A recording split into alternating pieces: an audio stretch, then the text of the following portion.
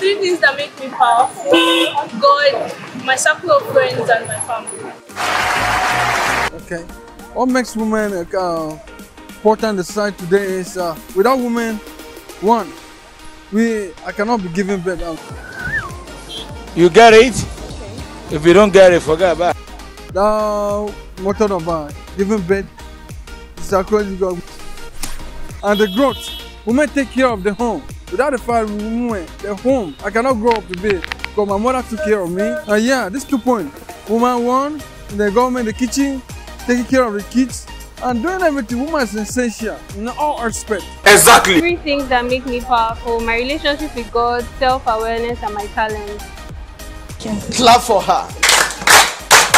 Three things that make me powerful my career, my height, my beauty. Oh, three things that actually make uh, women very special. They are intelligent, they are very supportive, understanding. three things that makes a woman more powerful. I think number one should be her confidence. Number two, growth.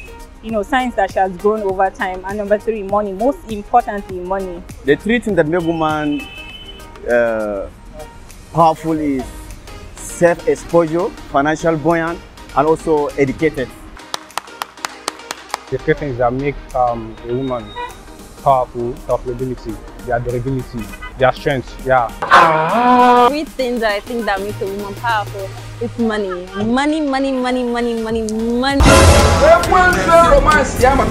Three things I know that can make uh, a lady or a woman more powerful.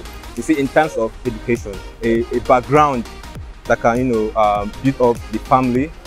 In terms of cooking, now every husband needs or wants a, a woman who knows how to cook, because uh, the, the the way to a man's heart is true is coming. Well done. Clap on for yourself. And thirdly, uh, you know, in terms of beauty, beauty can also make a woman powerful.